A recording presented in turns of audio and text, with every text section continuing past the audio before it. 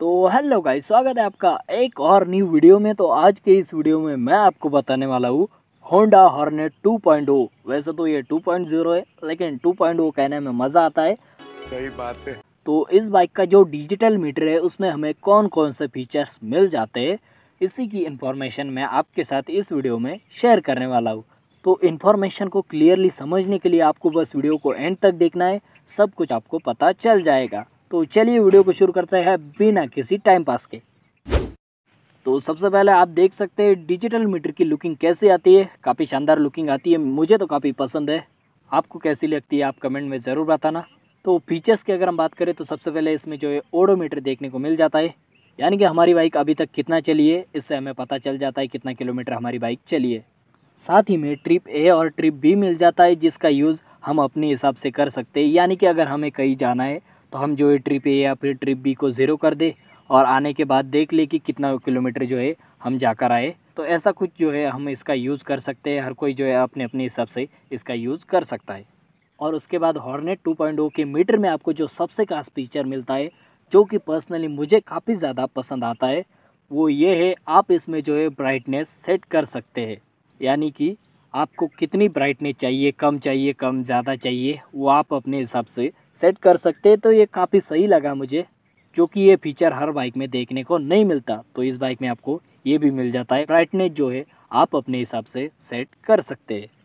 और उसके बाद इस बाइक के मीटर में जो है आरपीएम मीटर देखने को मिल जाता है। साथ ही इस बाइक में जो है सर्विस रिमाइंडर यानी कि हमें अपनी बाइक की कब सर्विसिंग करानी चाहिए, उसका रिमाइंडर यानी कि वो फीचर भी हमें इस बाइक के डिजिटल मीटर में देखने को मिल जाता है। और हाँ कभी कभी ये जो है सर्विसिंग करने के बाद भी ऑन हो जाता है। तो उसको भी जो है आप सेट कर सकते हैं। साथ ही में इसमें जो है गियर पोजीशन इंडिकेटर भी मिल जाता है, यानी कि आपको अपने बाइक के मीटर में पता चलेगा कि आपकी बाइक अभी कौन से गियर में चल रही है। तो ये काफ़ी ज़्यादा हेल्पफुल फीचर है। साथ ही में मीटर में हमें जो है स्पीड वाला फीचर भी मिलता है, यानी कि हमारी बाइक अभी जो चल रही है, वो कौन से स्पीड में चल रही है, वो आपको पता चल जाता है। और मीटर में जो है न्यूट्रल लाइट भी देखने को मिल जाता है। साथ ही में जो है एबीएस लाइट भी देखने को मिल जाता है, जिससे हमें पता चलता है कि हमारी बाइक में जो है एबीएस वर्क कर रहा है या फिर नहीं। और उसके बाद जो है हाई बीम लाइट भी देखने को मिल जाती है। और दोनों साइड के इंडिकेटर का जो लाइट है वो भी मीटर में देखने को मिल जाता है। इसके बारे में जो है ज़्यादा कुछ बताने की ज़रूरत तो है नहीं। ओके और साथ ही में जो है डिजिटल क्लॉक यानी कि टाइम भी आप इसमें देख सकते हैं सेट रिसेट कर सकते हैं। तो ये जो फीचर है ना टाइम वाला ये काफ़ी ज़्यादा हेल्पफुल मुझे लगता है। क्योंकि जो है हमें अलग से मोबाइल वगैरह निकालने की ज़रूरत नहीं पड़ती तो हमारा जो है थोड़ा सा टाइम इसमें टाइम देखने से बच जाता है। तो अगर आपको पता नहीं है कि टाइम सेट कैसे करते हैं तो आपको जो है वहाँ पर दो सेट और रिसेट के बटन दिख रहे होंगे तो दोनों को ही आपको जो है लगभग पाँच छः सेकंड प्रेस करके रखना है।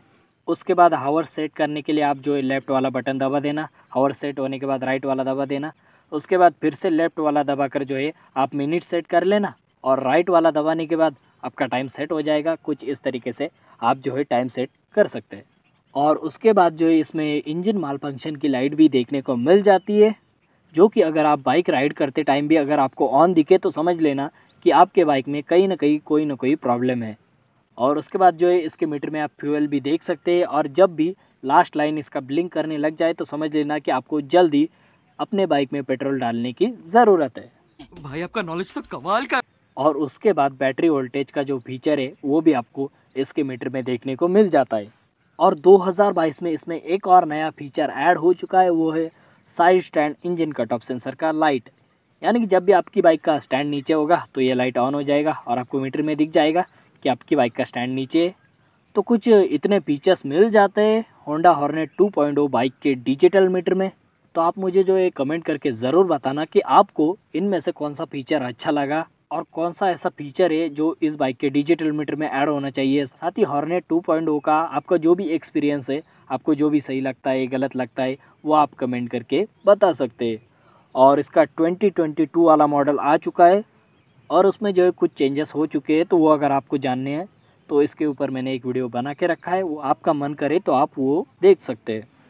तो उम्मीद करता हूँ मेरी ये वीडियो आपके लिए ज़्यादा तो नहीं, थोड़ी तो हेल्पफुल हो ही जाएगी और आपको जो है मीटर में कौन कौन से फीचर्स मिलते हैं इसकी इन्फॉर्मेशन मिल गई होगी और समझ में आ गई होगी क्लियरली तो वीडियो अगर आपको पसंद आता है तो आप वीडियो को लाइक कर सकते हैं, अपने किसी फ्रेंड के साथ वीडियो को शेयर कर सकते हैं। अगर उसको इस वीडियो से थोड़ा बहुत फ़ायदा हो सकता है तो। और साथ ही अगर आप चैनल पर नए और आपको बाइक से रिलेटेड ऐसे काफ़ी सारे अलग अलग टाइप के वीडियोस देखना पसंद है तो आप चैनल को सब्सक्राइब ज़रूर कर देना। तो जल्द ही मिलेंगे किसी और वीडियो में। Thanks for watching